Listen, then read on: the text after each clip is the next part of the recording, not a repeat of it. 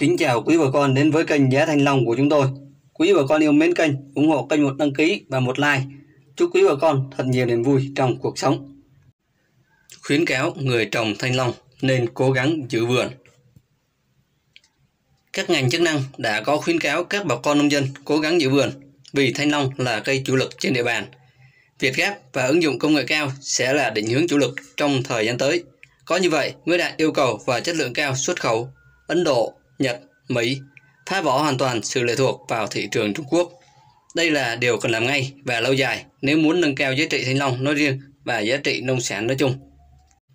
Tại địa phương này, các ngành chức năng đang suy tính nhiều giải pháp hiệu quả hơn và làm cách nào để giúp người dân giữ lại vườn thanh long cũng như hướng tới trồng thanh long sạch theo hướng công nghệ cao, chuẩn Việt Gáp, mục đích làm tăng chất lượng thanh long cũng như tạo đầu ra cho trái thanh long đạt chuẩn được thuận lợi một cách tốt nhất và hiệu quả nhất.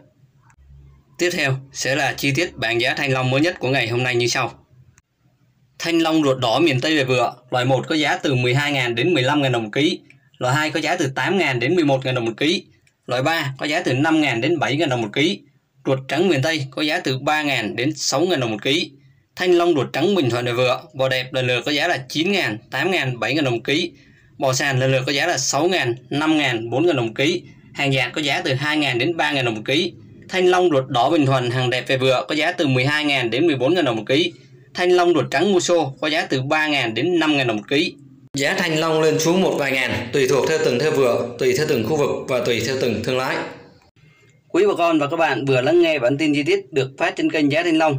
Quý bà con ấn chuông và đăng ký kênh miễn phí để không bị bỏ lỡ các bản tin tiếp theo của chúng tôi. Quý bà con và các bạn hãy để lại bình luận của mình bên dưới video để trao đổi về giá thanh long và cũng như các loại nông sản khác.